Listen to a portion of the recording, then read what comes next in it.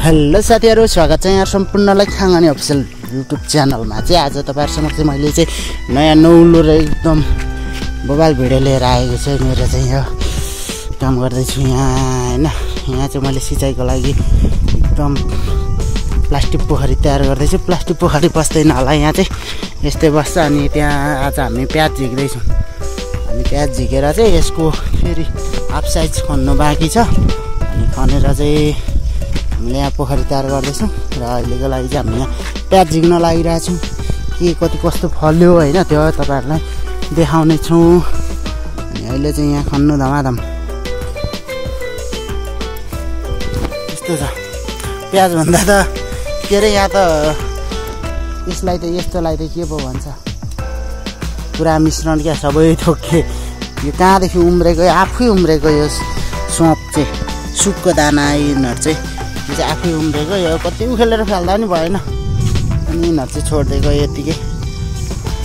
यता यो सागी आफै उम्रेकोहरू।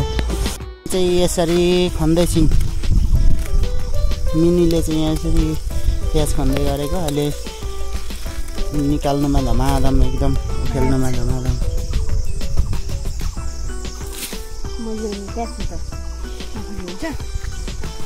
हाम्रो काम गराइ है। यहाँ जम्मा कति सय लगाएको थियो? चार सय कि पाँच सय। मर्दै जान्छ रोप्दै गयो मर्दै जान्छ रोप्दै गयो। चार सय बिउ चाहिँ यतिभरिमा हाम्रो चार सय बिउ लागेको तर अलिकति हाम्रो बाक्लो पनि थियो कि चार सय त अलिक नलाग्नु पर्ने जस्तो लाग्छ यतिमा। कि लाग्छ?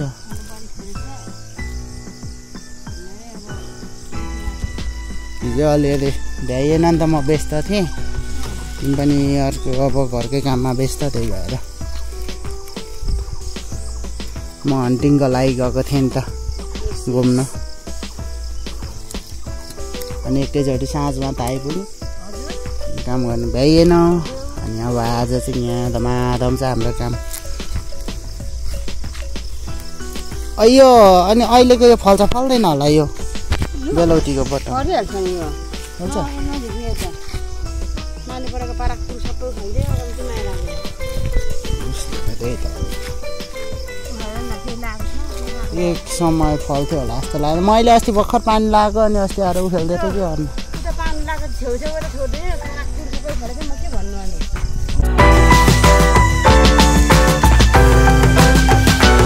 ल सकिन लाग्यो अब चाहिँ। आज एकदम पानी आउला आउला आउला जस्तो भएर एकदम गडाङ गुडुङ कालो न कालो दिनहरू भइरहेछ। यहाँ बाबा यसको चाहिँ बिउ राख्दा कस्तो हुन्छ? बिउ राखिदिउँ कि भन्ने। अनि यहाँ चाहिँ अब सिँचाइको पोखरी बस्दैछ। ठुलो ठुलो ठुलो एकदम। मेरो लागि चाहिँ लास्टै ठुलो। खन्नुको लागि लास्टै गाह्रो हुन्छ नि त। कत्रो मेहनत गरिरहेको छु। यस्तै। यहाँ त पौडी खेल्ने स्विमिङ पुल पो बनाउनु पर्छ या ठुलो हो परदेखि। यहाँसम्म एक मान्छे डुब्ने त बनाउँछु। के खानेको बुढी? बिठो भएको। पैसा पाउँछ यहाँ।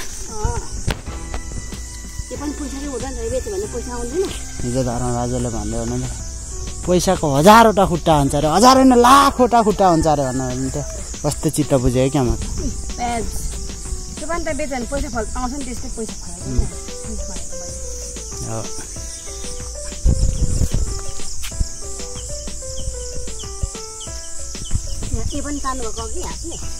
होइन। जिन्दगीको गोरेटोमा एक्लै हिँड्न गाह्रो हुन्छ तिमी भए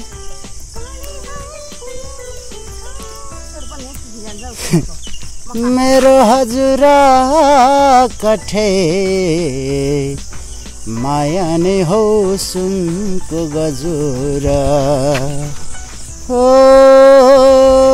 मेरो हजुर कठे माया नै हो सुनको गजुर। है म त छेपी भनेको त्यो त होइन? खै हेरौँ। छ्यापी भनेको त प्याज पो रहेछ पाँच छ पाँच छ लास्टै फाइदामा लग्यो त त्यसले त।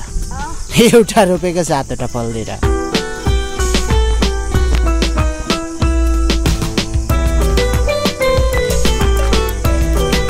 अब यताको चाहिँ सबै नाङडुङ जान्छ है मैले भन्नु थालेँ। कुन? तिनीहरू सबै उखेल्नुपर्छ अब। अब चाहिँ ल खनेर सक्यो आच्या एक डोको पनि छैन? यसले त कति पुग्छ? दुई खेप मोमो खायो भने सकिन्छ होला।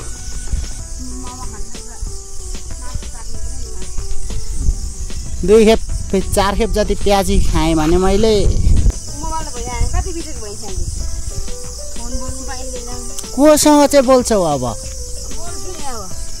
अब। आमासँग उता आप्पासँग बोल्ने भनेको यसो चार पाँच दिन हप्ता दिनमा बोल्ने हो। म त मरे नि गर्दिनँ के फोन गर्नु? गएपछि बस्दैन। आइ त हाल्छ हाततिर हाम्रो पनि बितो बितो बितो बितो भन्दै आइपुग्छ। ल अब चाहिँ प्याज चाहिँ यहाँ घरमा ल्याइ पुऱ्यायो अरे। यसलाई के गर्दैछौँ? केलाउँदैछौँ हामी। केलाएर अब सुकाउनु मिल्दैन नि यसलाई। घाममा घाममा सुकाउनु मिल्दैन। यसलाई उभानोमा चाहिँ फिजाउनु पर्छ घाममा सुकायो भने फेरि कुन्छ यो लास्टै छिटो बिग्रिन्छ। अनि यति हो। अब म चाहिँ धमाधम काट्दैछु नि। सिकुवामा लिएर तिमी चाहिँ कपाल देखाइन सिकुवामा लिएर थुपाइरहेको छौँ अहिले चाहिँ हामीले। अब यसलाई यो छानेर ओभानोमा लाउनु राख्नुपर्छ।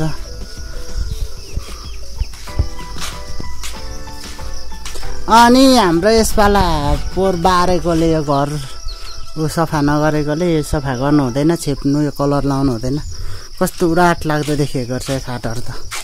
खाटको कलर गएर। प्याजको अरू अरू प्याजीको रेसिपी एक दिन भिडियो आउनेछ हाम्रो प्याजी बनाएको। अहिलेको लागि चाहिँ प्याज अब हामीले यसरी काटेर यो थन्क्याउँछौँ